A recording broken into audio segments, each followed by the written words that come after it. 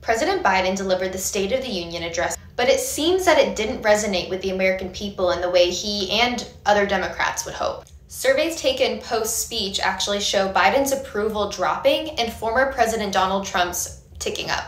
As it stands, Biden's disapproval rating is now at 58%, while just 37% approve, giving him a net negative of 21 points. That's larger than it was last week. He's completely underwater. Meanwhile, Trump's seeing a bump. So, why the struggle for Biden? Could it possibly have anything to do with the fact that Biden opened up the State of the Union by talking about the state of Ukraine? Ukraine can stop Putin if we stand with Ukraine. Or perhaps it's because his speech was largely viewed as wildly partisan and angry. Did you know he mentioned Trump in some form 13 times throughout the speech?